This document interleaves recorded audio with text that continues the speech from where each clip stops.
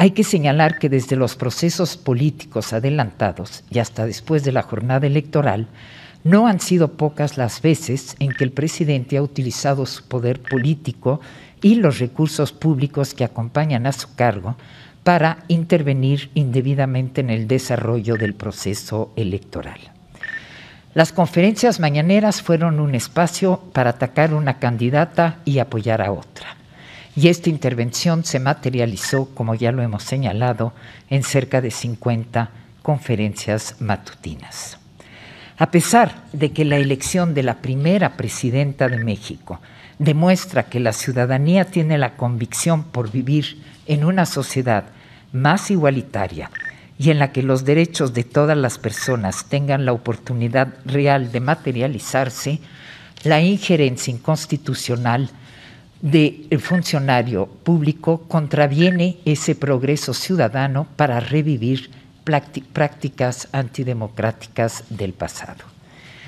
La política es el impulso que mueve a las democracias y les permite alcanzar conquistas sociales importantes, pero sus formas pueden poner en riesgo lo logrado. Entonces, son las leyes las que se convierten en la razón que asegura que lo alcanzado permanezca y que los, los abusos puedan ser prevenidos y sancionados. Sin embargo, las dos coaliciones que obtuvieron la mayoría de los votos decidieron adelantar el proceso para seleccionar sus candidaturas. Aquí, la política impuso sus tiempos a los plazos de la ley y ni el Instituto Nacional Electoral ni este Tribunal Electoral se pudieron frenar esta decisión, por lo que hubo que limitarse a tratar de encontrarle un cauce legal a una irregularidad que rebasó por completo la eficacia de nuestro sistema electoral. Lo que fue denominado como procesos políticos novedosos no fue más que un fraseo para evitar reconocer la comisión de un fraude a la ley. Desde el 11 de junio del año pasado, las fuerzas políticas decidieron que era oportuno iniciar con sus procesos para elegir sus candidaturas a la presidencia, arrebatando esta decisión a la soberanía popular expresada en las leyes que nos rigen como comunidad y que sirven para dar continuidad a nuestra vida democrática. Como lo señalé cuando voté en contra de estos dos procesos políticos, fue especialmente grave que los partidos, quienes se supone deben ser institutos que abonen a la defensa del interés público, diseñen mecanismos cuidadosamente pensados para evadir el cumplimiento de la ley. Mecanismos que, como era de esperarse, enrarecieron el clima político y pusieron en peligro la integridad del proceso electoral. La antijuricidad se retroalimenta y no solo vuelve cautiva a la ciudadanía, sino que atrapa a los actores políticos en estructuras de interacción en las que las actitudes contrarias a la vida democrática son replicadas como norma en vez de observar las leyes que buscan garantizar que la ocupación del poder político y del gobierno sean resultado de una participación real. Estos procesos adelantados fueron el aviso de qué serían los graves problemas de esta elección, acuerdos políticos por encima de las leyes, autoridades que evidenciaron sus dificultades para garantizar el cumplimiento de la ley, y un desgaste innecesario de la ciudadanía por campañas particularmente largas. Siguiendo con las fallas, hay que señalar que desde los procesos políticos adelantados y hasta después de la jornada electoral, no han sido pocas las veces en que el presidente ha utilizado su poder político y los recursos públicos que acompañan a su cargo para intervenir indebidamente en el desarrollo del proceso electoral. Las conferencias mañaneras fueron un espacio para atacar una candidata y apoyar a otra. Y esta intervención se materializó, como ya lo hemos señalado, en cerca de 50 conferencias matutinas. A pesar de que la elección de la primera presidenta de México demuestra que la ciudadanía tiene la convicción por vivir en una sociedad más igualitaria, y en la que los derechos de todas las personas tengan la oportunidad real de materializarse, la injerencia inconstitucional del funcionario público contraviene ese progreso ciudadano para revivir prácticas antidemocráticas del pasado. La política es el impulso que mueve a las democracias y les permite alcanzar conquistas sociales importantes, pero sus formas pueden poner en riesgo lo logrado. Entonces, son las leyes las que se convierten en la razón que asegura que lo alcanzado permanezca y que los, los abusos puedan ser prevenidos y sancionados. Ese equilibrio entre el poder político y la sujeción a la voluntad popular expresada en la Constitución es el delicado apuntalamiento que sostiene y da continuidad a una democracia. El acatamiento de las reglas no solo es muestra de una actitud responsable de quien entiende la necesidad de cumplir con los acuerdos de la comunidad expresados a través de las leyes, sino también es la manifestación real de la confianza y el respeto que se tiene a la ciudadanía. Finalmente, y la tercera falla que hay que destacar fue producto de la violencia en el país. Durante meses recibimos la noticia de que una persona más se sumaba a la lista de candidaturas asesinadas. La disputa por el poder en diferentes partes del país abandonó cualquier sentido de civilidad y nos hizo atestiguar de nueva cuenta que hay decisiones que no son producto del diálogo, sino de la imposición.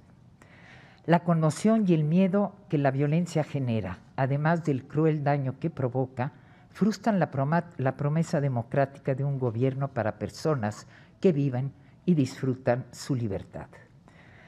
Dejo esta pregunta a modo de reflexión. ¿Es el crimen organizado un autor autónomo o es un coadyuvante? Las consecuencias de esto son evidentes. Más de 7.000 personas que aspiraban o eran titulares de una candidatura renunciaron a su participación política debido a las amenazas. Y estas se concretaron con el asesinato de cerca de 40 candidaturas. Incluso en los tiempos en los que hemos reconocido la existencia de la violencia política en razón de género, ignorar este pronunciamiento sobre la violencia en el proceso invisibiliza que de estas renuncias 57% fueron mujeres. Y si la violencia se dio esencialmente en entidades federativas con alto impacto a nivel municipal, lo cierto es que su repetición tuvo también un impacto en el ámbito nacional. La democracia no debe reducirse a entenderla como un procedimiento como para poder ir a votar. Esta debe ser más que eso. Hacer de la democracia una forma de vida no es más que el compromiso individual de actuar para defender lo que es valioso e incluir en esa defensa quien tenemos al lado, entendiendo que las diferencias son las que nos llevan a encontrar mejores respuestas.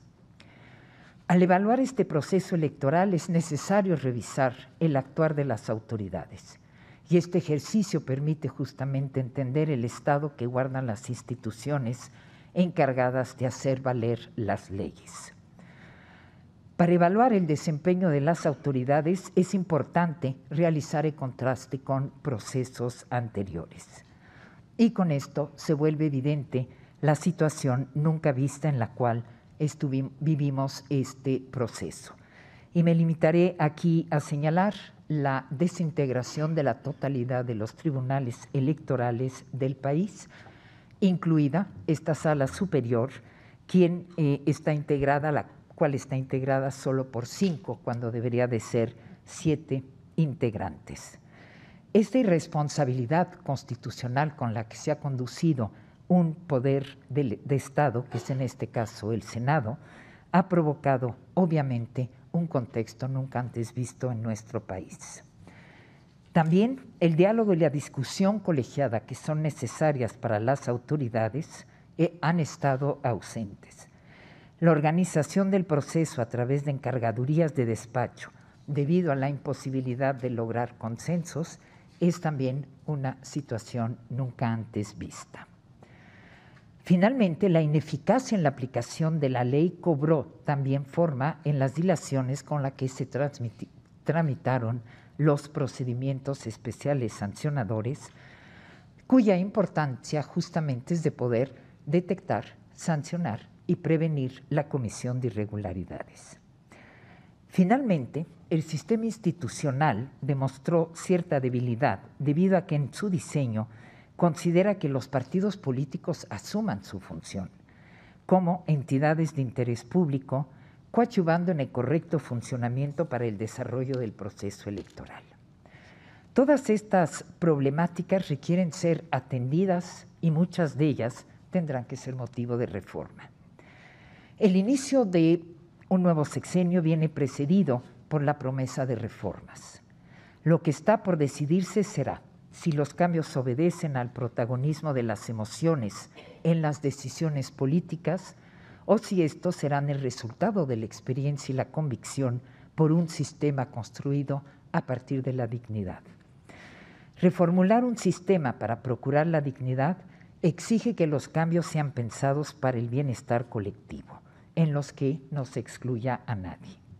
Por eso la reforma debe darse por encima de la emoción y el orgullo, debido a que este último divide a una sociedad entre un nosotros y un ellos.